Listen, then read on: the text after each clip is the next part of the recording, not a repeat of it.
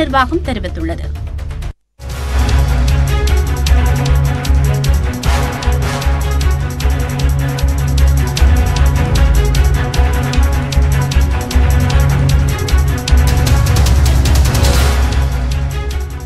Corona ஊரடங்கில் தளர்வுகளை அறிவிப்பது தொடர்பாக முதலமைச்சர் தலைமையில் ஆலோசனை கூட்டம் தற்போது தொடங்கி இருக்கிறது ஊரடங்கு அமலில் இருந்தாலும் அதில் பல்வேறு தளர்வுகள் அமல்படுத்தப்பட்டிருக்கின்றன.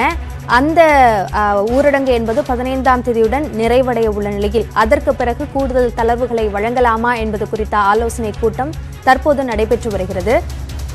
ஏற்கனவே ஒமைக்ரான் பரவல் காரணமாக இந்த மூன்றாவது அலை என்பது தொடங்கியது. அதற்கு பிறகு ஒவ்வொன்றாக அதிக கட்டுப்பாடுகள் விதிக்கப்பட்டிருந்த நிலையில் அந்த தொற்று பாதிப்புகள் சற்று குறைந்ததன் காரணமாக அதிகமான தளர்வுகள் வழங்கப்பட்டன. மேலும் சில தளர்வுகளை வழங்குவது குறித்து இந்த ஆலோசனை கூட்டத்தில் விவாதிக்கப்படும் என்று தெரிகிறது. அது என்னென்ன தளர்வுகள் என்பதற்கான அறிவிப்பும் இன்றோ அல்லது நாளையோ வெளிவா வெளியாவதற்கான வாய்ப்புகள் இருக்கிறது. இந்த கூட்டத்தை பொறுத்த வரைக்கும் இதில் சுகாதாரத்துறையைச் சேர்ந்த பல்வேறு வல்லுநர்கள் அதிகாரிகள் அமைச்சர்கள் இதில் கலந்து கொண்டிருக்கிறார்கள். இதில் என்னென்ன மாதிரியான தளர்வுகள் அறிவிக்கப்பட வாய்ப்பிருக்கிறது. அதற்கான எதிர்பார்ப்புகள் என்னென்ன என்பது குறித்து விளக்குவதற்காக நம்முடைய செய்தியாளர் பாண்டியராஜ் இணைப்பில் இருக்கிறார். பாண்டியராஜ் விவரம் என்ன? அபினியா தமிழகத்தில் கொரோனா பரவலானது நாளுக்கு நாள் வெகுவாக குறைந்து வருகிறது. மிகவும் பரவலானது ஜனவரி மற்றும் பிப்ரவரி மாத தொடக்கத்தில் தொற்றானது அதிகரித்து வந்த நிலையில் தற்பொழுது கொரோனா பரவல் மற்றும் உருமாறிய ஒமைக்ரான் பரவலானது குறைந்திருக்கிறது. இதன் காரணமாக பல்வேறு தளர்வுகள் ஏற்கனவே அறிவிக்கப்பட்டிருக்கக்கூடிய நிலையில் அந்த கட்டுப்பாடுகளானது வருகின்ற பதினைந்தாம் தேதியுடன் நிறைவடைய இருக்கிறது.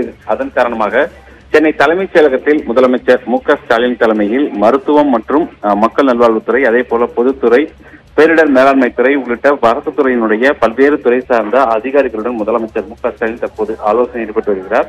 இந்த ஆலோசனையில் மேலும் பல்வேறு கட்டுப்பாடுகளிலிருந்து தளர்வுகள் அளிக்கப்படும் என்று எதிர்பார்க்கப்படுகிறது. குறிப்பாக பதினாறாம் தேதி முதல் மழலையர் பள்ளிகள் திறப்பது தொடர்பாக இந்த கூட்டத்தில் ஆலோசிக்கப்படுவதாகவும் அதே போல திறந்தவெளி மற்றும் உள்ளரங்கு பொருட்காட்சிகளை அனுமதிப்பது ஏற்கனவே சென்னை புத்தக கண்காட்சிக்கு தனியாக அரசாணை ஒன்று பிறப்பிக்கப்பட்டு அதற்கான அனுமதி வழங்கப்பட்டிருக்கக்கூடிய சூழ்நிலையில் தமிழகம் முழுவதும் திறந்தவெளி மற்றும் உள் அரங்குகளில் பொருட்காட்சிகளை அனுமதிப்பது அதே போல ஏற்கனவே உணவகங்கள் திரையரங்குகளில் அஹ், கட்டுப்பாடுகளானது அதிக அளவில் இருக்கக்கூடிய சூழ்நிலையில் அங்கு நூறு சதவிகித பார்வையாளர்கள் மற்றும் வாடிக்கையாளர்களை அனுமதிப்பது தொடர்பாகவும் இந்த ஆலோசனை கூட்டத்தில் விவாதிக்கப்படுகிறது. எனவே தேர்தல் நேரம் நெருங்கி கொண்டிருக்கக்கூடிய காரணத்தினால் வாக்காளர் வாக்குப்பதிவர் தினத்தன்று கடைபிடிக்கப்பட வேண்டிய அஹ், கட்டுப்பாடுகள் தொடர்பாகவும் அதே போல வழிகாட்டு நெறிமுறைகள் தொடர்பாகவும் இந்த கூட்டத்தில் ஆலோசிக்கப்படுகிறது. மிக முக்கியமாக பதினாறாம் தேதி முதல் பல்வேறு தளர்வுகள் அளிப்பது தொடர்பாக தற்போது இந்த ஆலோசனை கூட்டத்தில் விவாதிக்கப்பட்டிருக்கிறது. இது குறித்த அதிகாரப்பூர்வ அறிவிப்பு அதாவது ஆலோசனைக்கு பிறகாக ஊரடங்கில் என்னென்ன தளர்வுகள் என்பது